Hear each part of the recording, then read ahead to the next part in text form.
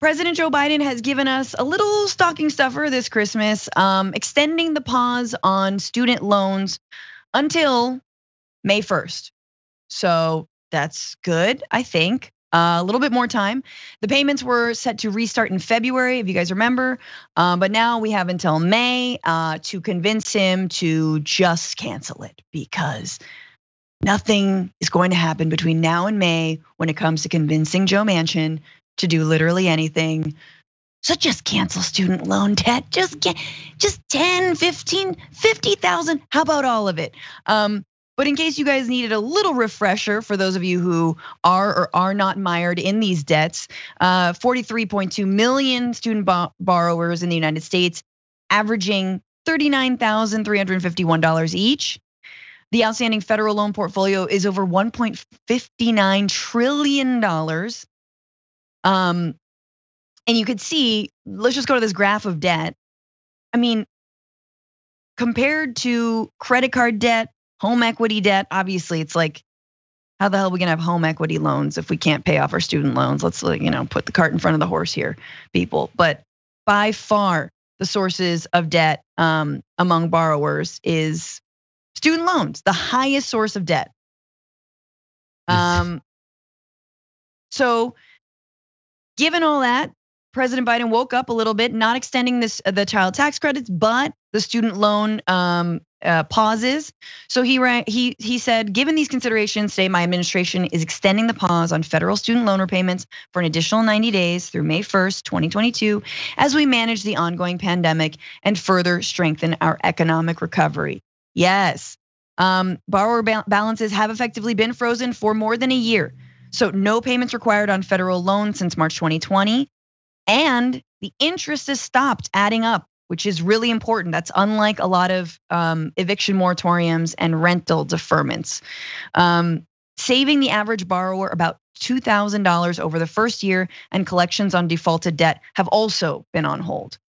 So, I mean, this is the difference between people keeping their homes, being able to feed their families, and not being able to plan for the future and not. Um, but it's very far from what he said during campaign Biden, right? Okay, so campaign Biden, a lot of people are like, he promised to cancel student debt. He promised, he did actually promise to cancel student debt. He didn't promise to cancel all of it, but this is him on the campaign trail, uh, speaking to a young, a young former student who has is strapped with debt. Um, he said to this person, "I'm going to eliminate your student debt if you come from a family making less than $125,000 and went to a public university."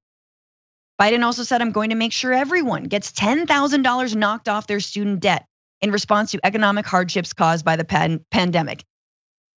So, okay, the average borrower saved $2,000. So we've got six more years, no, five more years to get to that point where you knock off $10,000. I don't know. Like there's, there's a lot to be done, Joe. Um, but it is progress, Brett. Your response.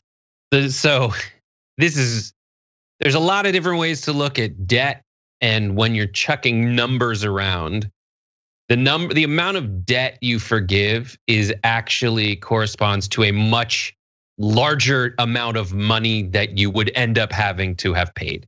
So if you take a student if you have interest on any debt let's say i take out a, a 10 uh, $100000 uh, whatever my interest rate is it's not that i just pay that plus my interest rate of you know 17% depending on what kind of loan you have 6% 2% whatever what kind of payment you have to do that compounds every year so if you forgive $10,000 of student loan debt you could be for depending on how long your payment schedule is you could save that person $20,000 over the course of them having to pay it back now when you pause that those people are just not paying $2,000 now you're not taking away from the amount they're going to have to repay back because you're not forgiving any of it. Right. So this is just, just kind of kicking it. the can down the road, which is something that, like, when we talk about putting awesome new government programs in place, the reason people fight against that is because people realize, like Medicare, it's better than private insurance for all its flaws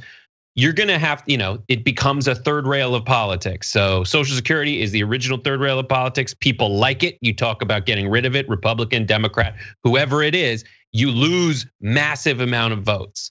Um, so that's why they don't want to put them in place. But the way that the government can get into um, kind of not suffering the backlash from their donors of forgiving the debt is to do this kick the can down the road five months at a time.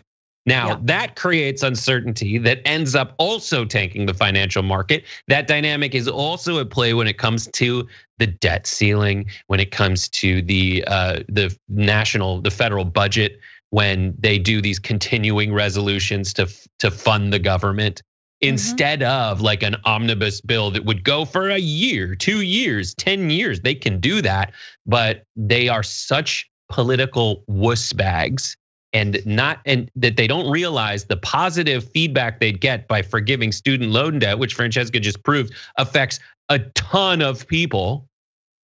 They think yeah. that that that getting that support from a ton of people is not as politically beneficial uh, to counteract losing the support of their donors, who are frequently, especially in Joe Biden's case, Chris Coons' case, and the other Democratic senator in a in a state that prides itself on no corporate tax, like you would you would alienate a ton of people who are your political donors. Yeah, and it doesn't. Here's my thing with eliminating student debt though like I, I do think they're going to alienate some political donors but like this is all federally held debt so and you don't hear republicans railing like how dare he blah, blah. i mean they would if he did anything but you don't hear about like the big you know federal student debt lobby that wants to continue having americans pay you know, pay and pay and pay and pay. And like it's like it is kind of politically a win for him in my book. I mean, it definitely would do huge, it would be incredible for his numbers and his approval rating, especially for people who voted for him, maybe holding their nose, thinking that, especially young folks who are like generally skew progressive, or maybe were Bernie voters. Um, this is a way to get them back. So on a political level, I think it makes sense. Um, he has he has canceled 1.5 billion dollars in debt, but those were only for those who were defrauded by for-profit colleges. So already there was a lot involved in that. There was he he promised look, look public universities that's where I'm knocking off the debt and he hasn't yet done it. Um but I look, I think this is good to to delay it. I just think they need to go farther.